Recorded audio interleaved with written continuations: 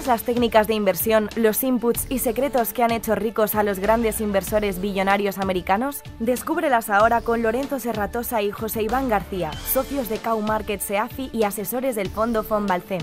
Estudia con nosotros los modelos de los protagonistas del momento como Warren Buffett o Joan Greenblatt y descubre sus métodos para ganar en los mercados. Esto es Casting Strategies. Buenas tardes y bienvenidos una tarde más a Casting Strategies. Hoy vamos a hablar de un concepto clave en la valoración de empresas, el EV partido Free Cash Flow.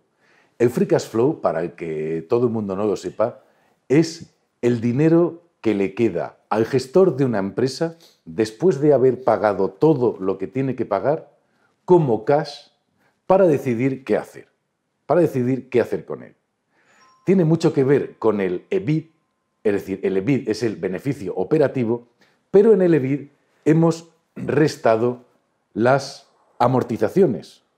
Sin embargo, en el Free Cash Flow tenemos que sumar las amortizaciones, porque al final es dinero que tenemos en la caja.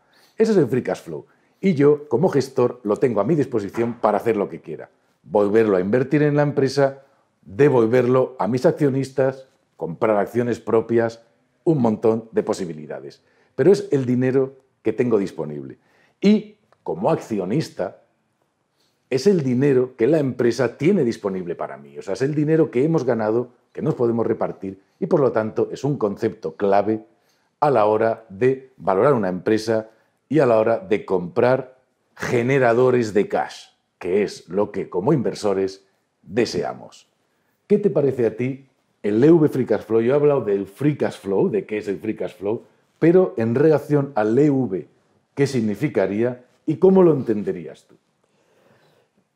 Vale, pues en relación al EV partido Free Cash Flow, lo primero es, qué es el EV, ¿no? O sea, el EV al final cuando es, el, precio, el, precio real que tiene, una, que, tiene una empresa hoy, ¿vale? Por ejemplo, sería el precio de cotización más las, eh, eh, las acciones preferentes, más los intereses minoritarios, más la deuda menos la caja. Es decir, lo que realmente, si compramos una empresa hoy, pagamos el precio, debemos su deuda, tenemos que pagar a los intereses eh, minoritarios, tenemos que eh, pagar las acciones preferentes, por tanto, el precio real no es el precio al que cotiza la acción, sino ese más todos los otros que vienen relacionados. Por tanto, ese es el precio real que nosotros pagamos y, eh, y si lo comparamos, ese precio, con el, el, free cash flow lo que estamos viendo es el rendimiento, es el free cash flow yield, es decir, el rendimiento del free cash flow. ¿Cuánto rinde ese, eh, eh, eh, cuánto representa el precio respecto del free cash flow que tiene la empresa? Por tanto, si pago poco por mucho free cash flow,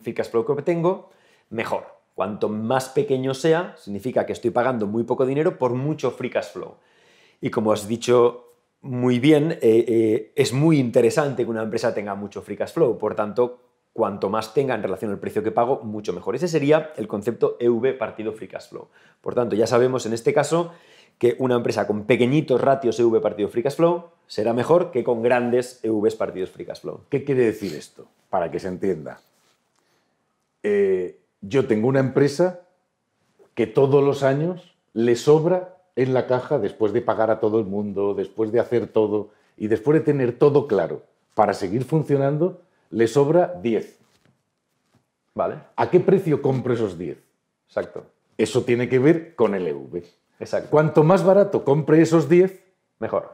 Más barato, menos dinero estoy pagando por el dinero que la empresa me puede devolver. Exacto. Y por lo tanto, más beneficio voy a tener en mi inversión.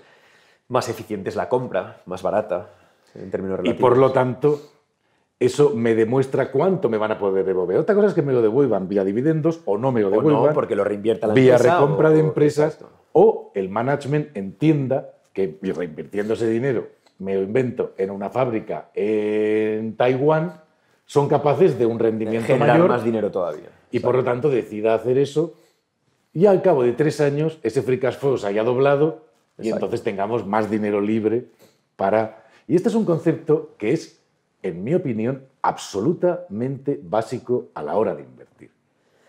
Claro, es muy absolutamente básico, a la hora necesario, de invertir. Es necesario. Yo creo que es la clave, porque al final, si no, como, o sea, la, valoración de empresas parte de esa idea. Para valorar una empresa debes de, hacer una comparación ¿no? y, poder ver realmente cuánto free cash flow recibes en relación al precio que pagas por ella. Por tanto, ah, y tiene lógica, porque eso sucede no solo en el negocio de bolsa, sucede en todos los negocios y en todas las cosas. ¿no? Entonces, mucha gente está acostumbrada a hacer ese tipo de ejercicio en otros, en otros escenarios.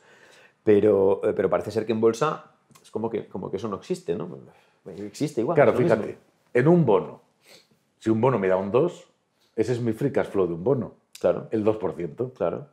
Es decir, es el dinero que me devuelve. Exacto. Es verdad que la gente confunde el dividendo con el free cash flow. No, no, no tiene nada que ver. Lo confunden, ¿eh? Sí, sí, sí, sí, Y entonces la gente dice, inversión por dividendo. Exacto. ¿Quién me da más dividendo? Y comparo el free cash flow con el dividendo. Eso es un error gravísimo. Gravísimo. Porque el, el dividendo te lo pueden estar pagando con deuda. Claro vendiendo activos, Exacto. destrozando la compañía. Destrozando la Y eso pasa muchísimas veces. para maquillar el dividendo. Para maquillar el dividendo, para, este que tú sigas comprando acciones, bla, bla, bla. Y luego al final llega un día y dicen, suspendemos el dividendo. Exacto. Y se acabó. Se acabó. Y eso ha pasado así de veces. Sí, sí, claro. Claro, pero la gente confunde eso porque confunde la rentabilidad de un bono con la rentabilidad de dividendo. No. Por dividendo. La rentabilidad no. es el dividendo, es el free cash flow. Es el free cash flow. Esa es la rentabilidad de la empresa. Claro. Otra cosa es lo que haga con ella. Otra cosa es lo que haga yo con el dinero de mi bono. Exacto. O en una, en una, casa con el dinero que me da el alquiler. Eh, por ejemplo. Restado los gastos. Exacto. Ese es mi free cash flow. Ese es. Claro, de hecho hay un ejemplo muy interesante que hace Greenblatt, ¿no? que es súper, que a lo mejor a la gente le, cuadra para, entenderlo. En uno de los vídeos, creo que es en, Google Talk, no, estoy seguro, en uno de los, de los vídeos hace un ejemplo para valorar empresas y dice, a ver, si vas a comprar una casa, supongamos que vale un millón de dólares, ¿no? Y a esa casa le puedes sacar, después de gastos, como has dicho, 70, 80, 90 mil dólares en un entorno de intereses del 3%. Bueno, pues tu free cash flow, en ese caso, tu free cash flow yield es de un 7, un 8 o un 9%, dependiendo. Mm, ese sería el modelo de valoración. Al final necesitas conocer el yield, o sea, el, free cash flow yield, el rendimiento del free cash flow, para decir, bueno, eh, eh, me interesa esta casa como compra si la comparo ahora con otra casa del, del vecindario, de la ciudad, de donde sea. Me interesa ver cuánto de rendimiento le estoy obteniendo a esta casa de free cash flow respecto de a esta otra, para a, similares precios, ver cuál me interesa más de las dos. O sea, si a una que, me, que también vale un millón le puedo sacar un 4 y a esta le puedo sacar un 8, pues blanco y en botella. Y es algo que haríamos cuando compramos una casa. Pues lo mismo cuando valoramos empresas o bonos. Es el free cash flow la clave. Claro. Y ahí estás hablando de una cosa que también es interesante y es descontar los gastos primero. Por supuesto. que sea el free cash flow, de verdad. Neto. Claro, claro, neto, neto. Que sea el free cash flow y no otra cosa. El, lo que uno se apunte ahí como... Claro, y este concepto es muy importante porque fíjate, en el concepto de la casa, tú has dicho algo que me parece clave y hay que recordar. Has dicho, me da un 8 en un tipo de interés al 3. Esto también es importante. Esto es muy importante. Porque no es lo mismo que una cosa me dé un 8 con tipos de interés al 8 no.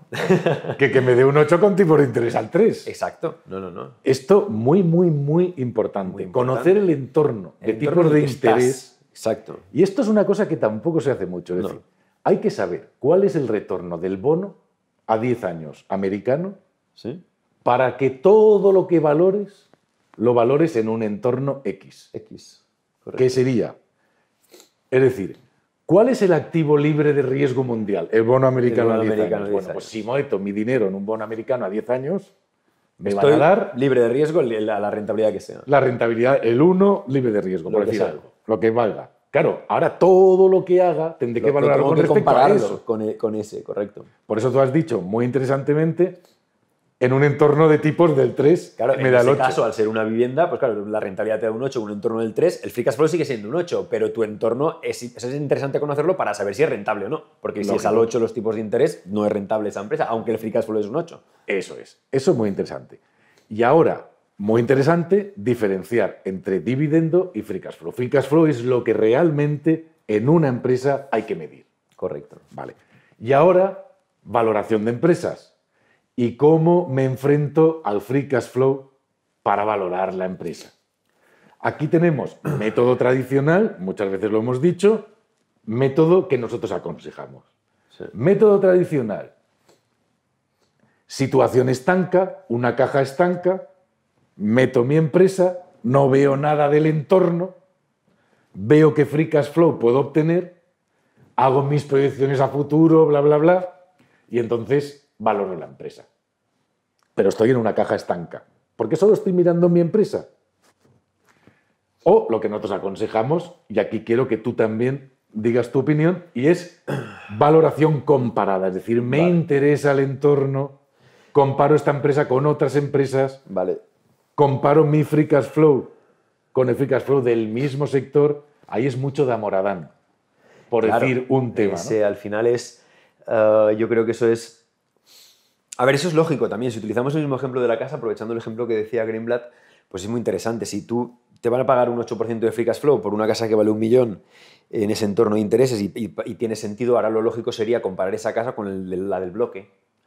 Luego lo compararías a lo mejor con la de la ciudad o con las de otras ciudades que sean comparables o con todo el país o con otros países, dependiendo, porque al final lo que quieres saber, dependiendo del tipo de industria, es decir, no es lo mismo una vivienda para vivir que una, una vivienda que sean oficinas, un edificio de oficinas o lo que sea. Por tanto, lo que es interesante es hacer una comparación con, eh, eh, digamos, a lo mejor por sectores, etcétera. Luego, histórica, es decir, ese mismo sector ha tenido una valoración histórica. Entonces, tú a lo mejor esa casa vas a decir, bueno, pues esa casa voy a ver el histórico de free flow de esa misma vivienda y compararlo con el histórico medio de toda la ciudad, por ejemplo, porque al final, dentro de ese nicho de casas, de ese tipo de, de perfil de casa, porque al final lo que necesitas saber es si es barato, si es barato respecto de su histórico, si está barato respecto de su media histórica, si está barato respecto de la media histórica de la industria, si está barato respecto de la media histórica del pueblo, de lo que sea. Por tanto, de otras viviendas, etc. Por tanto, hay dos conceptos ahí. Una cosa es hoy comparado con el resto hoy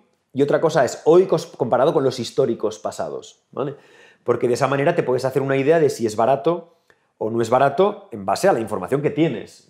Todo objetivo, en base a la que tienes. Claro, yo cojo mi empresa y aquí es donde entra claramente, y aquí es donde entra en juego el tema del V partido free cash flow de una manera absolutamente radical y es, yo cojo mi empresa que hoy cotiza, por, por- por poner un ejemplo, a tres veces V partido free cash flow. Lo comparo con a qué cotiza mi empresa los últimos 30 años, es decir, a cuánto se ha pagado el free cash flow de esta empresa Medio los, últimos, últimos 30 años. años. Se ha pagado a 5. Uy, está más barata. Está más barata. Correcto. ¿Por qué? No lo sé. Hay que ver por qué. ¿eh? Sí, sí. Hay que estudiar la calidad de la empresa, si ha bajado, si no ha bajado bien. Pero Pero bueno, tienes un dato objetivo que está por debajo de su media. está por debajo de su media. Vale. ¿A cuánto se paga la media de la industria? Exacto. Ahora compararíamos ambas. A 5. Uy, Exacto. está más barata. Está más barata. ¿A cuánto están cotizando toda la industria? Porque puede ser que tengamos un problema de toda la industria. Efectivamente. Ah, no, están a su media histórica. Exacto. Bueno, aquí tengo un unicornio. Parece que esto efectivamente tiene Tengo un unicornio. Sí, Voy sí, a ver sí. qué está pasando aquí, ¿no? Exacto. Y ahora, ¿a cuánto es el histórico de la bolsa, por decir algo? Vale. En ese cuanto precio, a EV Free Cash Flow. ese ratio. Es 5. Sigo estando a 3. Tengo un unicornio. Puedo Exacto. estudiar. Exacto. Aquí hay algo. Ahí parece haber margen de seguridad. Aquí Parece haber parece que haber este- esta empresa está infravalorada. Aquí parece haber posibilidades de hacer una buena inversión. Exacto. Si, si ahora otros ratios, como puede ser el roce, eh, la solvencia, Sí, eh, lo que sea, otros ratios me apoyan que estoy en una buena empresa tesis, exacto. y que está barata por cualquier motivo, el que sea, pues entonces tengo una buena inversión. Tienes una, definitivamente una nueva inversión. Sin entrar, esto sería una buena inversión pensando en una empresa, sin entrar en estrategias que Sí, sí, aparte. estrategias de value investing pasivo que tengan por objeto comprar las más baratas en términos de V partido, free cash flow, de X sectores, países, lo que sea, que al final estoy haciendo value investing pasivo, Exacto. comprando lo más barato. Que es lo mismo. Sí, sí. En En, ese caso ese- estás haciendo igual de manera relativa eh, de acuerdo a ese ratio y lo- hay, hay estrategias pasivas de ese tipo, claro, que son muy interesantes. Y eso es absolutamente rentable de hacer porque estás basando tus estrategias pasivas no en la capitalización, No, no, claro. ETF, No, no, sino no. algo que tiene sentido. Por supuesto. que a mí me parece muchísimo más interesante. Bueno, y esta tarde, si tuviéramos que elegir un tema... Ah, esta vez me toca a mí. Esta vez me toca a ti, Golfo. Elige tema. Ay, qué Te lo pregunto. Bueno, si pues esta mira. tarde tuviéramos que elegir un tema, ¿qué tema elegiríamos? Si esta tarde tuviéramos que elegir un tema y pudiéramos poner Y pudiéramos un ponerlo. tema, yo elegiría el My Way cantado por Elvis Presley. Es una barbaridad Muy bien. escuchar ese tema que se puede encontrar en YouTube. Exacto. Y que aconsejo visitar YouTube para verlo. El My Way cantado por Elvis Presley. Presley. Cuando ya estaba el pobre hombre un poco decadente. Sí, la cosa ya no. Una maravilla Temazo. de tema, un temazo. Venga, ¿Te parece? Me parece genial. Muy bien. Pues esta tarde vamos a acabar con el My Way de Elvis Presley, si pudiéramos ponerlo. Pero vamos a acabar sobre todo recomendándoos que os suscribáis al canal y que utilicéis los ratios financieros adecuadamente a la hora de invertir en bolsa. Suscribiros al canal y aprended con nosotros porque más siempre es mejor, somos más fuertes y somos más capaces de hacer las cosas bien. Gracias y una tarde más, Casting Strategy.